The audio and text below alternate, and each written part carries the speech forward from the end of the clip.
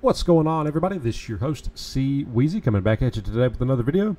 Today, we're going to get into how to install NCAA Next 24 for NCAA Football 06. Um, yes, they have a step-by-step guide in order to, you know, help you install the mod, and they also have a 56-minute how-to video.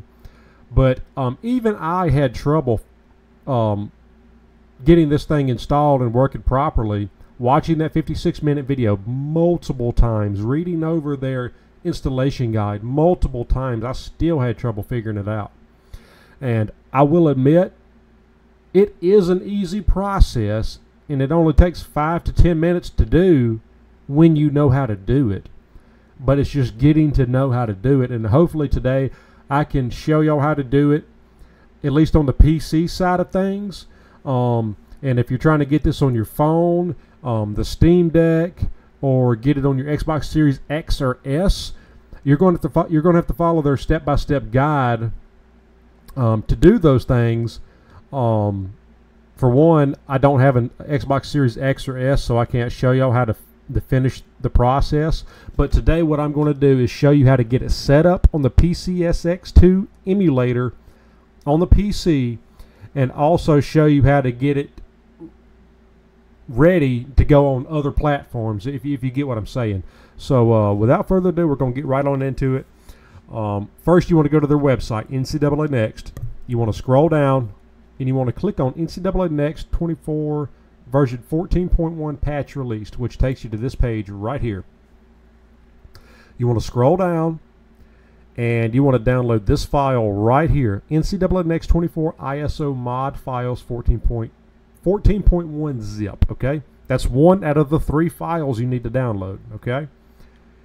Next you need to down download this. Um, it's this base textures in four parts is the same thing as this. I would recommend downloading the base textures but if you're having trouble getting it to download go to the uh, four part one right here and um, it, what it pretty much does is it separates it into four parts where it's not such a big file and it's a little bit easier to download than the regular one. But if you can get the regular one to, to download download that one first. If not do this one okay? So that's the second file. Excuse me. The third file is this add-on pack one which is the point one to the version 14 which updates a few like uh, uniforms, helmets, textures, stuff like that. So, file number one, file number two, either one, take your pick, and then there's file number three. That's the three files you need.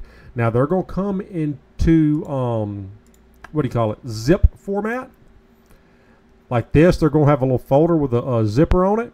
What you wanted going to do is um, right click it and you're going to want to use uh, WinRAR or 7-zip to extract it.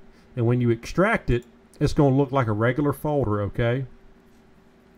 Now, once you get those three things downloaded and you have them unzipped, that's where the fun begins. Now, you do need a copy of NCAA Football 06, okay? I would highly recommend you own the game and you get it on your computer somehow, don't ask me how to do that. I'm not hundred percent sure on how to do that because I had somebody else help me with it.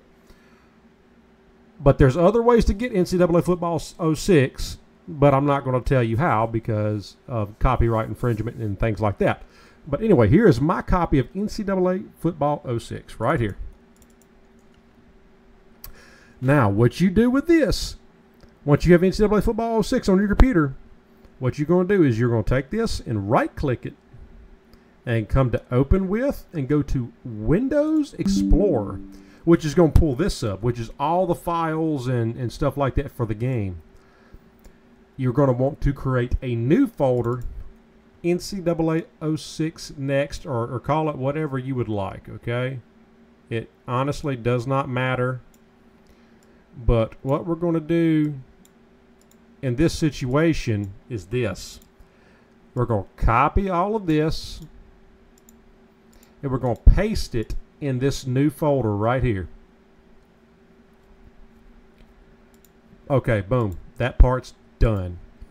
Now what you're going to want to do is go back to your downloads folder and you're going to want to go to the NCAA Next ISO mod files version 14.1. Now, do not copy this install. Just copy the, oops, sorry, just copy the SLUS uh, underscore 212.14 and the data. You want to copy it and you want to paste it over here. And then you're going to want to click on replace the files in the destination. Okay, I'm not going to do it because I've already done it, but that's what you want to do. You want to click on replace the files in the destination. Now, once you've done that, you're going to want to uh, open up ImgBurn, which is a program that you're also going to have to install um, to get this to work properly. Um, they have a link to this uh, program on the website. Um, it's going to say, it's going to ask you some permissions on your computer. You just accept it. Um, I've had this on my computer for a few weeks now. I haven't had any issues out of it. If you're worried about doing it doing something to your computer, I have not had any problems. I'm not saying you're not going to have any, but I have not had any, and I don't think they would recommend it if they knew it would have problems. Anyway, once you get that folder set up, what you're going to want to do is come to ImgBurn, okay? Click on this, and the first thing you want to click on is create image file from files and folders. Now, you're going to want to come over here where it says source and then click on this yellow folder with the magnifying glass. Click on it. You're going to want to go to your desktop and go to NCAA 06 Next and select folder. And then you're going to make the destination the same thing. So the new image will be put into this folder right here, the same one you're getting it from, and you're going to select this. And it's going to come up, you're going to select build right here, this button right here. And it's going to ask you a few things. You just say yes. You're going to get hear a little uh, sound at least once or twice. And there you go. Um, this is what mine looks like right here after I got done doing it. This is the final shebang right here. And that's it. As far as getting the game and mods installed properly. Now, the textures, you're going to want to come to your PCSX2 emulator, which it should look like this. There's the actual emulator itself, and here's all the other files and stuff that goes along with it. What you're going to want to do with the textures folder that you downloaded is this right here. Let me go to my downloads. Uh, you want to click on this next 24 textures. And then what you're going to do is you're going to click on this textures folder. And then you're going to come over here to this textures folder. And you're going to copy both of these and put right in here to this folder. And once you do that, we're actually going to go into the emulator itself. And this should be a pretty easy process of setting up the emulator. I had an easy time setting this up. They have a step-by-step -step guide on how to set up the emulator itself on PCSX2. Uh, but what you want to do with graphics to get the textures loaded in uh, properly, you just want to go to um, settings, graphics, texture replacement and you want to make sure that load textures and async texture loading is checked marked. Once you do those those things, at least with the PCSX2 emulator on PC, the game should be running properly. Now, um, as far as like the phone, the Steam Deck, the Xbox Series X and S, I could show y'all the Steam Deck and I could show you how to do the phone. Let me know in the comments if y'all need some help with that. I don't mind doing that either. But as far as the Xbox Series X and S goes, I do not own one anymore. So it's going to be really hard for me to show y'all how to do it when I don't have it. So if you at least follow the steps to set up the game like I showed you, to get the ISO image correct, you should have a pretty easy time setting it up on other platforms as well. Um, just like I showed you with the textures, uh, the modded textures to put into the emulator itself, you do the same thing on the Steam Deck and um, the, the cell phones, Android phones.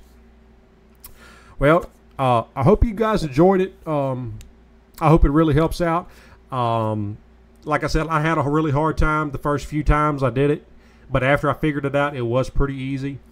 Um, let me know if this guys. Uh, let me know if this helped you. If you need some more help, please feel free to ask. I don't mind helping. I'll help you as best I can.